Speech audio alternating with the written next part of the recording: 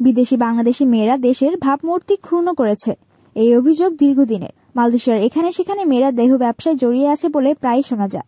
ধারণা করা যায়, কলিং ভিসার নামে যে পরিমাণ মেয়ে মালয়েশিয়া এসেছে তার চেয়ে কয়েক গুণ বেশি এসেছে ট্যুরিস্ট ভিসায় বা কারও বউ সেজে ডিপেন্ডেন্ট ভিসায়। জীবনে সচ্ছলতা আনার জন্য একটি মেয়ে যখন মালয়েশিয়া আসে, তখন তার চোখে মুখে থাকে রাজ্যের স্বপ্ন।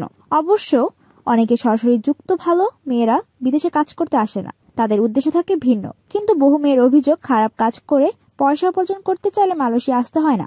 তা বাংলাদেশেই সম্ভব। টেলিফোনে সাথী, ছদ্মনাম। এই নামের একটি মেয়ে জানায় তার জীবন কাহিনী, যা মালয়েশিয়ার বহু বাংলাদেশি মেয়ের জীবন কাহিনীও প্রায় এরকমই হতে পারে সাথীর দাবি। ছদ্মনাম প্রকাশের শর্তে সেই মেয়েটি সরল স্বীকারোক্তিতে জানিয়েছে, আমি কেন নষ্ট হলাম? মুন্সীগঞ্জের মেয়ে সাথী।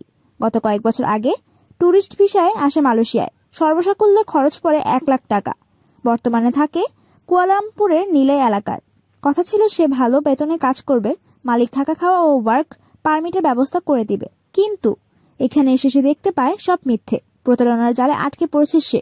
ওলটপালট হয়ে যায় তার স্বপ্নগুলো। খুঁজে পায় এক অন্ধকার জগৎ। ঘণ্টা খানেকের টেলিফোন আলোচনার সাথে জানায়, আমার একটি সুন্দর সংসার ছিল। স্বামী সন্তান ছিল। বছর দশেক আগে মা বাবার অমতে অল্প বয়সে বাড়ি থেকে পালিয়ে ভালোবেসে বিয়ে করেছিলাম।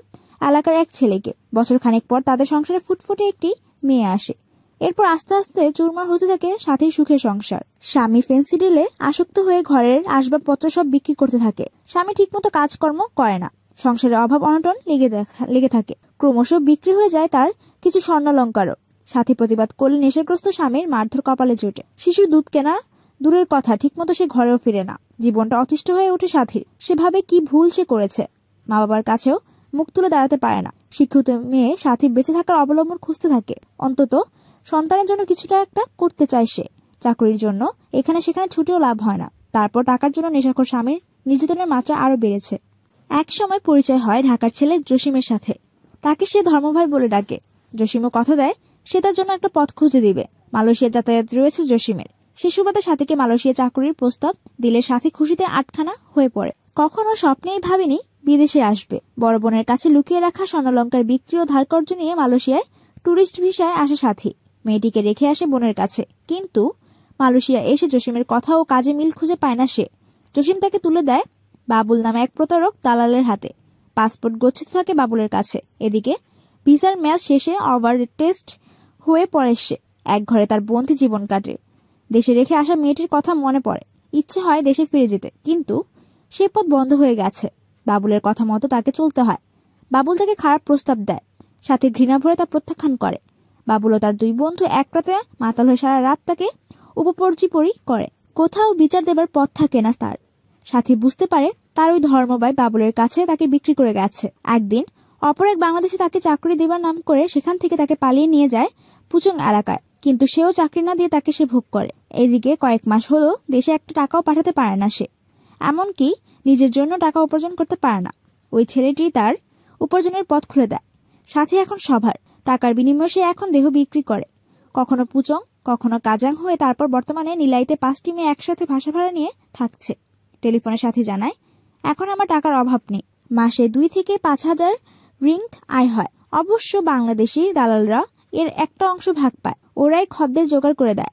তবে চাইনিজ নিউ ইয়ারে তার ইনকাম হয়েছে সবচেয়ে বেশি পাঁচ হাজার রিঙ্গিত। সাথী জানায়, মাঝে মধ্যে তার দালালরাই পুলিশের ঝামেলা থাকলে সেটা মেটায়। টেলিফোন আলাপে সাথীকে বলা হয়, অনেকের অভিযোগ, আপনাদের এইসব কর্মকাণ্ডের কারণে দেশের ভাবমূর্তি নষ্ট হচ্ছে। আপনি কি বলবেন? প্রতিবাদী কণ্ঠে জ্বলে উঠে সে। কেন? আমি কি বেশে ভিত্তি করার জন্য মালয়েশিয়া এসেছিলাম না চাকরি করতে এসেছিলাম?